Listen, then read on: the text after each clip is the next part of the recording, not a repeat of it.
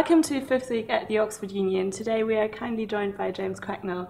Um, so I'm just going to ask you three quick questions Okay. to um, dive right in. Of all your achievements, um, which one do you personally take most pride in?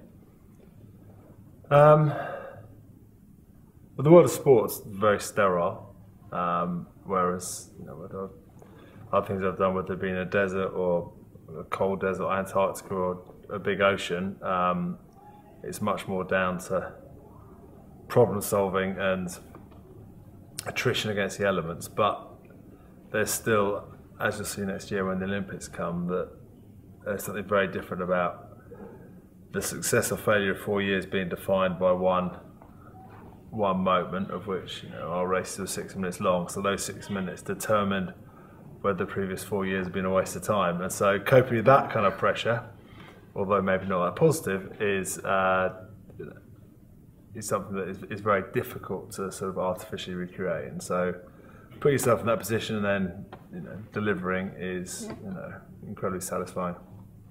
I can imagine. Um, what are the most important things um, you have learned as a result of your um, accident, the cycling accident?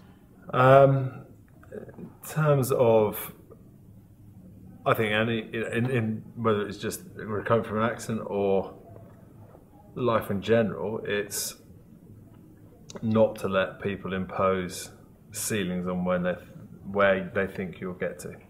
So whether that be starting a business, doing something in sport, or, or recovery from um, any sort of accident, if people will say you're only going to reach there, um, and you believe, and that's the only place you'll ever get to. Whereas if you think you'll get to there, okay, you may only reach there, but at least you've aimed and believed you'll get somewhere else. So I think that's the, the key thing is define your parameters, not let other people impose things on you. And um, lastly, what do you think of the Oxford Union? I think all uh, unions at universities are uh, phenomenally worthwhile. Um, Oxford Union is uh, one that any student or you know, most members of the public would have heard of because you know, it's there's one stage where there are only two universities in the country in England. Um, you know, England only had two when Scotland had six or seven, I think. So, you know, and this was one of them. Um,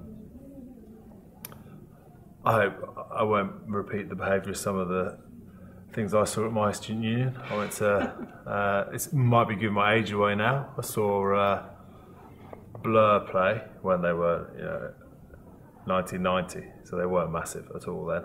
Uh, and then uh, a couple of them got quite drunk, took all their clothes off, and jumped in the crowd, and then the concert stopped. I was like, well, that was four songs worthwhile. So uh, none of that tonight. okay.